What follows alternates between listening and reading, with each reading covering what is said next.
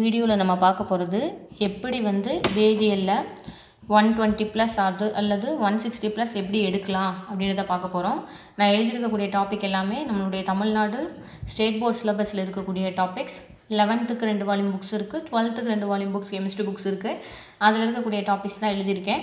இப்போ லெவன்த்து டாப்பிக்லேருந்து முந்தைய வருடங்களில் எத்தனை கொஷின் கேட்டிருக்காங்க அப்படின்றத பார்ப்போம். பார்த்தீங்க அப்படின்னா முதல் டாபிக் வந்து வேதியியலின் அடிப்படை கருத்துக்கள் மற்றும் வேதி கணக்கீடு அல்லது இங்கிலீஷில் சொன்னீங்கன்னா basic concept of chemistry and chemical calculation இதில் வந்து ஒன்றுலேருந்து ரெண்டு கொஷின் கேட்டிருக்காங்க. அதாவது இந்த ரெண்டு கொஷின் அப்படின்றது என்ன அப்படின்னா இவங்க இங்கே என்னத்தை சேர்த்துருக்காங்க எதை சேர்த்துருக்காங்கன்னா ரிடாக்ஸ் ரியாக்ஷன்ஸ் நார்மலாக வந்து கெமிக்கல் கால்குலேஷனில் ரிடாக்ஸ் ரியாக்ஷன் வராது.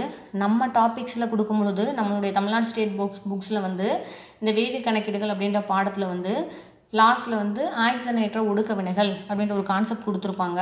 அந்த கான்செப்ட்லேருந்தும் கொஷின் வந்திருக்கு. ஸோ அதுதான் அந்த ரெண்டாயிரத்தி பன்னெண்டில் ரெண்டு கொஷின் வந்திருக்கு. ஒன்று வந்து இந்த மொலாரிட்டி மொலாரிட்டி பேஸ் பண்ணி வந்திருக்கு. இன்னொன்று என்னென்னா வந்து ரிடாக்ஸ் ரியாக்ஷன்லேருந்து வந்திருக்கு. ஸோ கெமிக்கல் கால்குலேஷன்லேருந்து நம்ம ஒன்றுலேருந்து ரெண்டு கொஷின் எதிர்பார்க்கலாம். அணுவின் குவாண்டம் இயக்கவியல் மாதிரி. இதில் வந்து கான்ஸ்டண்ட்டாக ஒரே கொஷின் கேட்டிருக்காங்க. அடுத்து வந்து தனிமங்களுடைய ஆவர்த்தன வகைப்பாலில் ஒன்றுலேருந்து மூணு கொஷின் கேட்டிருக்காங்க. ஹைட்ரஜன் அப்படின்ற டாப்பிக்கில் வந்து ரெண்டாயிரத்தி பதினேழில் கொஷின் கேட்கல ரெண்டாயிரத்தி பதினெட்டில் கொஷின் கேட்கல ரெண்டாயிரத்தி பத்தொம்போதில் ஒரே ஒரு கொஷின் கேட்டிருக்காங்க. அதுக்கப்புறம் காரம் மற்றும் காரமன் உலோகங்கள் அப்படின்ற டாப்பிக்கில் பார்த்தீங்க அப்படின்னா ஒன்றுலேருந்து ரெண்டு கொஷின் கேட்டிருக்காங்க. ஒன்னஸ் தொகுதி தனிமங்கள். இதை வந்து ஒன்னஸ் தொகுதி தனிமங்கள் அப்படின்னு சொல்லலாம். அதுக்கடுத்து வாயு நிலைமை. வாயு நிலைமையில் வந்து ஒன்றுலேருந்து ரெண்டு கொஷின் கேட்டிருக்காங்க. வெப்ப இயக்கவியல்லையும் ஒன்றுலேருந்து ரெண்டு கொஷின் வரையும் கேட்டிருக்காங்க. இயர் மற்றும் வேதி சமநிலை ஃபிசிக்கல் மற்றும் ஃபிசிக்கல் அண்ட் கெமிக்கல் எக்லிபிரியம் இதுலேருந்து கான்ஸ்டண்ட்டாக ரெண்டு கொஷின் கேட்டே வர்றாங்க.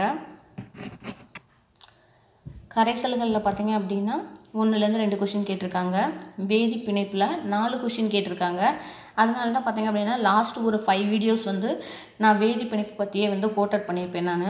வேதி பிணைப்பில் நாலு கொஷின் கேட்டிருக்காங்க. அதுக்கப்புறம் பார்த்தீங்க அப்படின்னா ஃபண்டமெண்டல் கான்செப்ட் ஆர்கானிக் கான்செப்ட்ஸ் எல்லாத்தையும் சேர்த்து நம்ம புக்கில் வந்து ரெண்டு டாப்பிக்காக நம்மளுக்கு கொடுத்துருக்காங்க. என்னென்னா கரிம வேதியியலின் அடிப்படைகள் கரிம வேதி வினைகளின் அடிப்படை கருத்துக்கள் அப்படின்ற பேரில் கொடுத்துருக்காங்க. மொத்தம் இதில் வந்து இந்த ரெண்டு டாப்பிக்கு சேர்த்து கேட்ட கொஷின்ஸ் நான் எழுதியிருக்கேன். ரெண்டாயிரத்தி பதினேழில் வந்து அஞ்சு கொஷின் கேட்டிருக்காங்க. ரெண்டாயிரத்தி பதினெட்டில் மூணு கொஷின் தென் ரெண்டாயிரத்தி பத்தொம்போதில் வந்து ரெண்டு கொஷின் கேட்டிருக்காங்க. ஆக்சுவலாக இது வந்து பேசிக் கான்செப்ட் அப்படின்றனால நம்ம அஞ்சு கொஷின் இதுலேருந்து எதிர்பார்க்கலாம். ஹைட்ரோ கார்பன்கள் ஹைட்ரோ கார்பனில் வந்து ஒன்லேருந்து ரெண்டு கொஷின் சேர்த்து கேட்டிருக்காங்க. தென் ஹாலோ அல்கேன்ஸ் ஹாலோ அரின்ஸ் இதில் வந்து ஒரு கொஷின் கான்ஸ்டண்ட்டாக கேட்டுகிட்டே வராங்க. அடுத்து சுற்றுச்சூழல் வேதியியல். அதுலேருந்து லாஸ்ட் இயர் கொஷின் கேட்கல. அதுக்கு முந்தின வருடங்கள்லாம் வந்து ஒவ்வொரு கொஷின் கேட்டே வந்திருக்காங்க. ஸோ வந்து plus one first volume second வால்யூமை சேர்த்து பதினஞ்சு பாடம். இந்த பதினஞ்சு பாடங்கள்லையும் முந்தைய வருடங்களில் எத்தனை கொஷின் கேட்டாங்க அப்படின்றத நம்ம இப்போ வரையும் பார்த்தோம். இப்போ பன்னிரெண்டாம் வகுப்பில் எந்தெந்த கொஷின் எந்தெந்த பாடத்துலேருந்து எத்தனை எத்தனை கொஷின் கேட்டாங்க அப்படின்றத பார்ப்போம். இது டுவெல்த்து ஸ்டாண்டர்ட் பாடப்பகுதி. இதில் பார்த்தீங்க அப்படின்னா முதல் பாடம் வந்து மெட்டலர்ஜி உலோகவியல். இந்த உலோகவியலில் கான்ஸ்டண்ட்டாக ஒரு கொஷின் கேட்டுக்கிட்டே இருக்காங்க. அதுக்கப்புறம் பார்த்தீங்கன்னா பீட்டு தொகுதி தனிமங்கள் ஒன்று ரெண்டு இது ரெண்டையும் ஜாயின் பண்ணியே நான் எழுதியிருக்கேன். பி பிளாக் எலமெண்ட்ஸ் ஒன்று ரெண்டுலேருந்து சேர்த்தே பார்த்தீங்க அப்படின்னா நாலுலேருந்து அஞ்சு கொஷின் கேட்குறாங்க ரெண்டாயிரத்தி பத்தொம்போதில் நாலு கொஷின் ரெண்டாயிரத்தி பதினெட்டில் அஞ்சு கொஷின் கேட்டிருக்காங்க. ஸோ பி பிளாக் எலமெண்ட்ஸ் ஒன்று டூ ரொம்ப முக்கியம். அதுக்கடுத்து பார்த்தீங்க அப்படின்னா இடைநிலை தனிமங்கள் மற்றும் முள் இடைநிலை தனிமங்கள். இதுலேருந்து ஒன்றுலேருந்து மூணு கொஷின் கேட்டிருக்காங்க. தென் அணைவு சேர்மம். அணைவு சேர்மத்தில் லாஸ்ட் இயர் தான் ஒரு கொஷின் கேட்டிருக்காங்க. அதுக்கு முந்தின இயர்லாம் பார்த்தீங்கன்னா மூணு கொஷின் நாலு கொஷின் கேட்டிருக்காங்க. ஸோ ஒன்றுலேருந்து நாலு கொஷின் நம்ம வந்து கோஆர்டினேஷன் கெமிஸ்ட்ரியில் எதிர்பார்க்கலாம். தென் திடநிலைமை. திடநிலைமையில் பார்த்தீங்க அப்படின்னா ஒன்றுலேருந்து ரெண்டு கொஷின் வருது. வேதிவினை வேகவியல். வேதிவினை வேகவியலில் வந்து கான்ஸ்டண்ட்டாக ரெண்டு ரெண்டு கொஷின் கேட்டிருக்காங்க. நம்ம இந்த இடத்துல நான் உங்களுக்கு என்ன ரொம்ப பண்ண விருப்பப்படுறேன்னா வேதிவினை வேகவியலை பொறுத்தளவுக்கு நம்ம புக்கில் வந்து ஃபஸ்ட் ஆர்டர் ரியாக்ஷனோட ஸ்டாப் பண்ணியிருக்காங்க முதல் வகை வினைக்கான சமன்பாடு தொகைசார் சமன்பாடு அதோட ஸ்டாப் பண்ணியிருக்காங்க ஸோ நம்ம வேதிவினை வேகவியலில் வந்து இரண்டாம் வகை வேதிவினை மூன்றாம் வகை வேதிவினை இதெல்லாம் பற்றி படிக்க வேண்டியது இருக்குது ஸோ இந்த டாபிக் படிக்கும் போது மட்டும் நீங்கள் வந்து என்சிஆர்டி புக்கை ஃபாலோ பண்ணால் கரெக்டாக இருக்கும். கெமிக்கல் கைனடிக்ஸ் ஸோ இதை வந்து நம்ம கொஞ்சம் எக்ஸ்ட்ரா ரெஃபர் பண்ண வேண்டியது இருக்குது அயனி சமநிலை.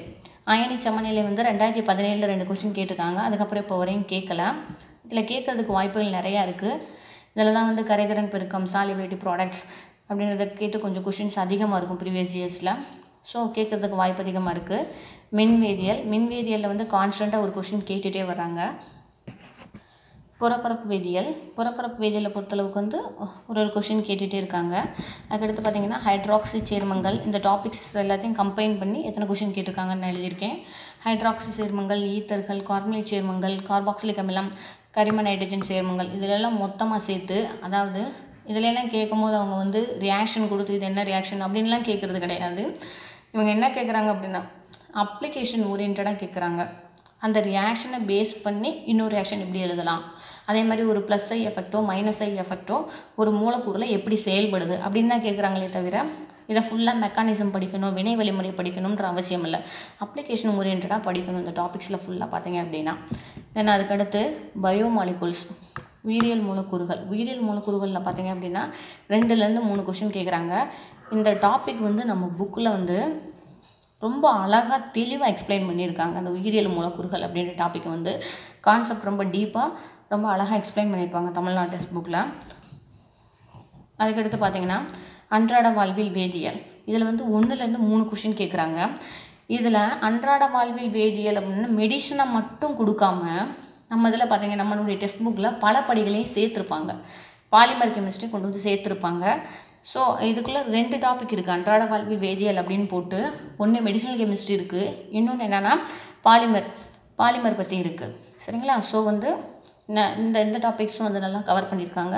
இதில் ஒன்றுலேருந்து மூணு கொஷின் கேட்குறாங்க இப்போ டோட்டலாக லெவன்த்து ஃபஸ்ட் வால்யூம் செகண்ட் வால்யூமில் பதினஞ்சு topic twelfth first volume second வால்யூமில் பதினஞ்சு டாபிக் டோட்டலாக முப்பது டாபிக் இதில் நம்ம நூற்றி அறுபது ப்ளஸ் எடுக்கணும் அப்படின்னா முப்பது டாப்பிக்கையும் படிக்கணுன்ற அவசியம் இல்லை. இருபது டாபிக் படித்தா போதும்.